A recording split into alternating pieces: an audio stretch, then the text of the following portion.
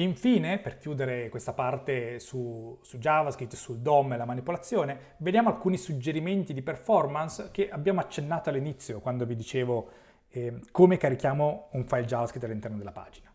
Vi ho detto che eh, si può eh, caricare, se carichiamo un file JavaScript all'inizio della pagina può esserci un problema di performance nell'head perché il caricamento della pagina HTML viene bloccato, tipicamente si carica in fondo alla pagina proprio per far sì che tutta il, la pagina HTML, il DOM, eccetera, vengano visualizzati, caricati, quindi l'utente del vostro sito, della vostra applicazione web veda eh, quello che succede e poi venga caricato il, il, file JavaScript che a quel punto avrà tutto il DOM a disposizione e può, ehm, mm, può appunto visualizzarlo e può appunto agire, interagire con la pagina.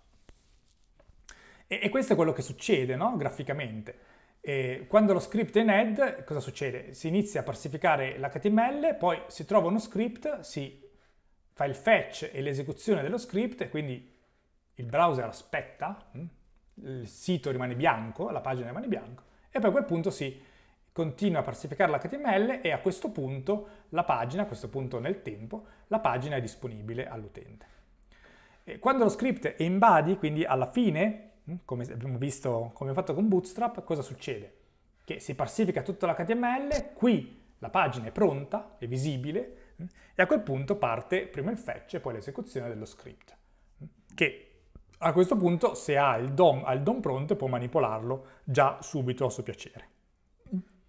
Quindi qui vedete il tempo, dire, complessivo è, è lo stesso, eh, la differenza, come vi dicevo già prima, è che Qui il sito è pronto molto prima che in questo caso e soprattutto non c'è questa parte di attesa, di pagina bianca, che uno dice chissà cosa sta facendo, eh, per appunto il sito.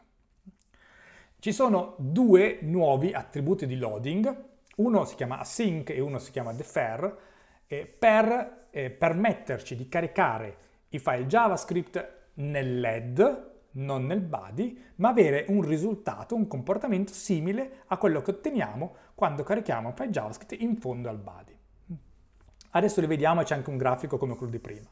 E vedete come si applicano script async e poi src e l'altro è script defer e poi src. Cosa dicono? Async dice questo script eh, deve essere fatto il fetch, quindi questa fase di lettura, dello script in parallelo al parsing HTML e valutato appena possibile, mm? quindi non è immediatamente eseguito, non è blocking, non totalmente blocking, come, come il caso di prima. Il defer invece dice, ed è preferito, vedete, e indica a un browser che lo script deve essere eseguito appena il documento è pronto, mm? appena il documento è parsificato, ma subito prima che DOM, l'evento DOM Content Loaded è, è, è finito. Quindi garantisce in un certo senso l'esecuzione in ordine di quello che viene caricato. E quando si usa fare sync bisogna però appunto mettere queste righe di script all'interno dell'head e non in fondo al body. E questa è in un certo senso la visualizzazione di cosa capita. Questo è la sync, vedete qui viene trovato il, lo script nell'head, eh? in parallelo al fetch continua la parsificazione dell'HTML, a questo punto lo script viene eseguito, quindi il parsing dell'HTML si blocca, quindi il sito, la pagina web apparirà magari mezza fatta e mezza no, hm? con alcune cose a posto e altre cose no, si esegue questo script e poi eh, viene eh, fatto ripartire il parsing.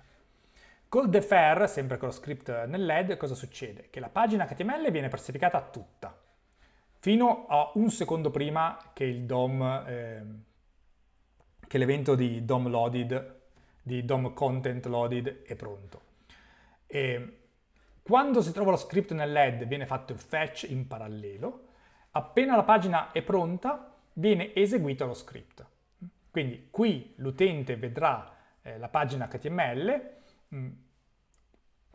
Lo script sarà già stato letto in precedenza e viene eseguito solo in fondo. Mm. Quindi questo col defer, che è il comportamento preferito, è quello più simile a quello eh, che stiamo utilizzando adesso, con la differenza che questo blocchettino fetch non è più qui quindi non si, non, non si prolunga questa attesa prima di poter utilizzare le funzionalità messe a disposizione da JavaScript, ma col defer questo blocco fetch è spostato in parallelo e quindi questo tempo diciamo, di JavaScript composto da questa fase di fetch ed execute è più ridotto e quindi il sito, la pagina web, è disponibile molto prima rispetto alla modalità normale. Quindi da ora in avanti, quando vorrete eh, caricare uno script eh, JavaScript, che siano quelli di Bootstrap o siano quelli fatti da voi, potete metterli nell'head con l'attributo defer.